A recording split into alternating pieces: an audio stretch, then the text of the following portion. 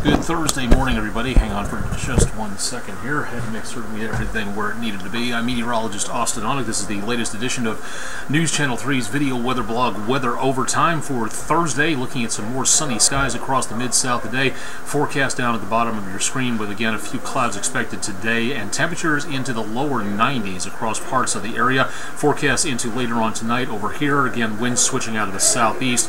Mostly clear skies expected and temperatures for lows only dropping into the mid to upper 60s. So some very warm conditions expected in the mid-south as we go throughout the course of the rest of the day. A lot to talk about for this morning into this afternoon, so let's go ahead and get to it and show you more about what's going on across much of the mid-south throughout the rest of the day today. Taking a look at sunshine galore on the mid-south or the uh, Mississippi campus, University of Mississippi at Ole Miss, Crosby Hall construction cam.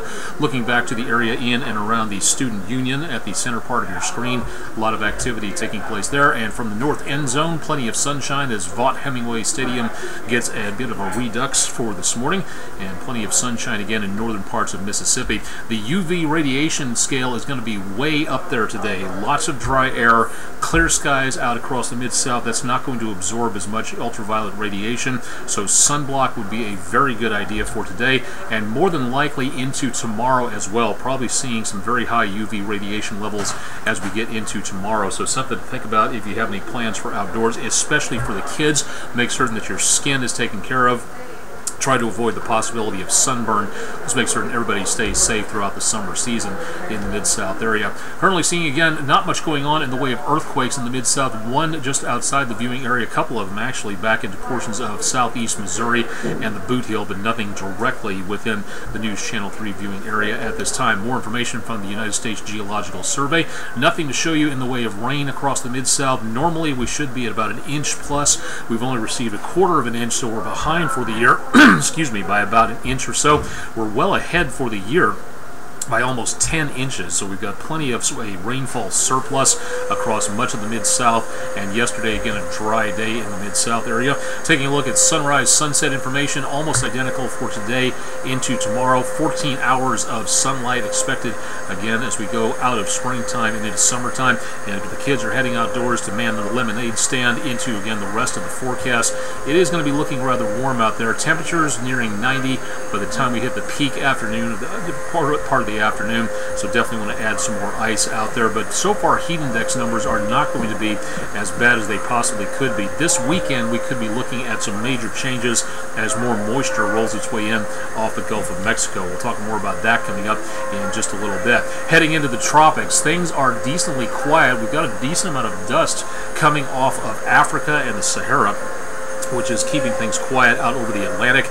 Nothing developing at this time in the Gulf of Mexico or the Caribbean, which is the usual spot for a lot of development that takes place at this time of the year. So something to think about there. If you're planning on traveling farther afield, again into the rest of the forecast area, no storm formation according to the National Hurricane Center expected within the next 48 hours. And again, thanks to a lot of that dust coming off of Africa, things will be decently quiet, so hopefully it'll be staying that way. Rest of the forecast, excuse me again, needs more coffee, I think. Back in the lower to mid 80s by lunchtime today, picking up the kids from summer camp into later on this afternoon. Temperatures in the high 80s to the lower 90s. A little bit more cloud cover possible as we look down into around areas close to northern areas of Mississippi and into northwestern parts of Alabama. That could be, again, a little bit more shade in that location, but mainly hot conditions out there into the rest of the afternoon and evening. Upper 80s to lower 90s around dinner time tonight, and looking at temperatures falling into the upper 60s to lower 70s by the time we hit News Channel 3 at 10. Tomorrow morning, a little bit of a jacket would not be such a bad idea, especially in eastern parts of the viewing area. Got sun numbers dropping into the mid upper 50s again, a little closer to the Tennessee River Valley, so something to take along with you in the morning, but definitely will not need it throughout the rest of the morning as temperatures shoot upwards into the upper 70s to lower 80s by mid-morning. Lunchtime temperatures on Friday nearing 90 degrees, so outdoors on the patio might not be a bad idea if you can find something in the way of some shade out there.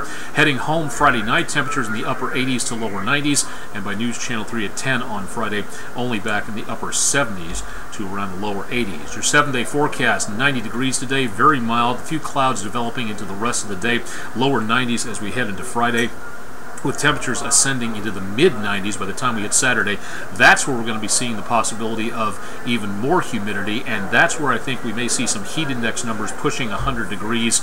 Not exactly a heat advisory territory from the National Weather Service, but if you are going to be working or exercising outdoors this weekend, something to take a look at there. Now, heading into again the course of the next several days, notice that we do not have much of anything to show you in the way of rainfall. Looking at goose eggs on the chances of rainfall Thursday, Friday, and into Saturday. But notice what happens on Sunday and following, heading into the course of the rest of the next several days. Things are going to be looking a possibility of more showers and thunderstorms coming on through, and this is again where we see the possibility of some outdoor activities uh, in the Mid South getting interrupted by more chances of rainfall as we get into the course of the next couple of days. After that, doesn't look like too much of a chance of anything involving huge amounts of rainfall in the Mid South as we get into the forecast for the weekend. But later during the weekend, Sunday, that's going to be our best chance for rainfall.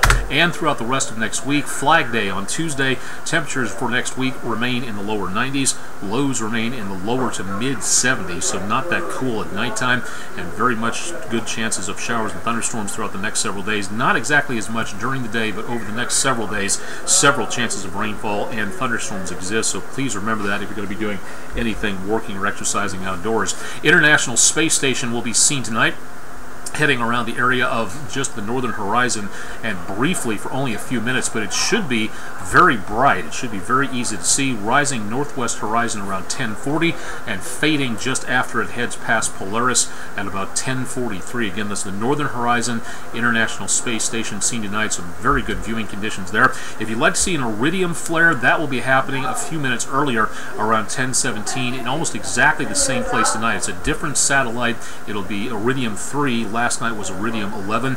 You'll see this, the a bright star fade into view, moving toward the southeast in the eastern skies, just south or underneath the bright star Vega, seen in the eastern horizon skies. So again, if you'd like to see this, you need to be watching exactly at 10:17 tonight for the star to fade in, get very bright, and then fade back out again. So again, not something you're going to be able to see unless you're looking for it very quickly, and that again across the area. If you'd like to see anything in the way of what our viewers are sending in when it comes to anything involving social media pictures. And thank you to everyone for sending in some spectacular photography work out there. You can send it to me at aonek underscore WREG3, Instagram, Facebook, Google Plus, many other websites available as well. And again, email address up here at the top of your screen at austen.onek at WREG.com. I'll have a complete check of your entire forecast into and through the weekend coming up on Live at 9, News Channel 3 at noon. And of course, Todd Demers on vacation this week, so I'll be back for Friday morning's events as well. So stay tuned for more on that. And again, questions concerns, what do you want to see on here? We want to know from you. Yes, you. This is something that we want to know about. And again, email me here at austen.onek at wreg.com to find out more about how we can make this your weather blog to tune in more often so we can get more information from you.